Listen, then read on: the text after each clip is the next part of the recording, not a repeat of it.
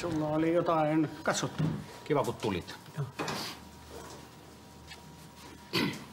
Missähän se on se sa- samet? Onko sulla löytyy sieltä?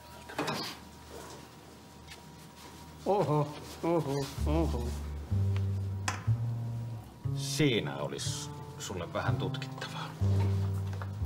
Joo, oh. Siinä sitä on miettimistä, niin. Olen Aito Koskinen, kultaseppä kemmologi. Suomessa ollessani työni on lähinnä korujen ja erityisesti timanttien tutkiminen.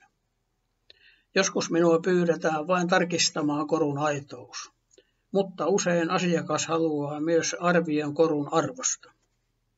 Asun Helsingissä, mutta usein työni vie minut myös pois Suomesta. Mantereista minua on aivan erityisesti kiehtonut Afrikka. Afrikka on olosuhteiltaan usein varsin haastava, mutta toisaalta myös sen luonnonrikkaudet ovat ylivertaiset. Vaikka kyse on työmatkoista, afrikkalainen villi luonto ja välittömät sydämelliset ihmiset tekevät näistä matkoista hyvin miellyttäviä.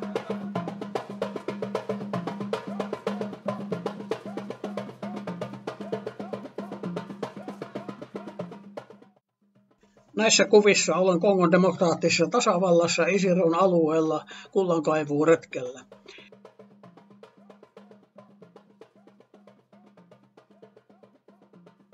Kongossa, kuten monessa muussakin Afrikan valtiossa, matkaa tehdään perinteisillä paikallisilla kulkuvälineillä ja usein myös tiettömän viidakon läpi jalkaisin.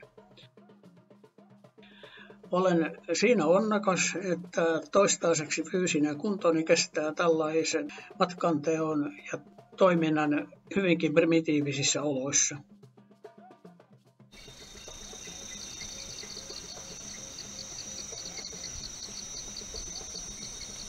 Joskus polun varrelle osuu myös kaunista katseltavaa, kuten tämä perhosten tanssi. Tyypillinen afrikkalainen kultakaivos, jossa maa-aines nostetaan ja lajitellaan käsin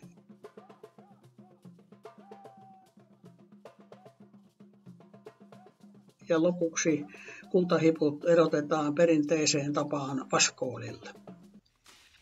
Tässä sitten näytet timanttien etsinnästä samaan tapaan.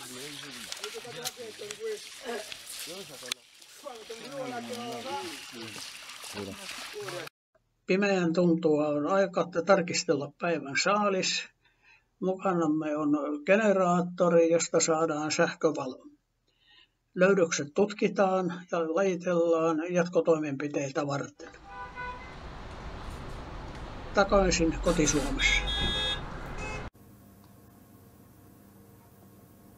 jalokivikorun perusteellinen tutkiminen ja tämmöinen, niin se, se vaatii rutinoituneen ihmisen. Ja me on sitä tehnyt vuosikymmenet. Se, tämmöistä hommaa mä nyt tässä teen odotellessani uutta komennusta sinne kaivoksi töihin. Tämä on rikki tämä ankkuri, täytyy sanoa sille omistajalle.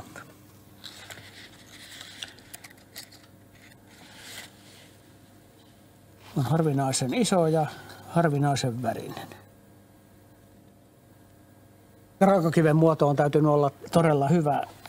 Että näin pieni poikkeama ympyrän muodosta ja tämmöinen oikea suhde korkeuteen on saatu onnistumaan. Se on ihan tällainen raaka-aine. Tässä on todella hyvä tuli tässä kivessä.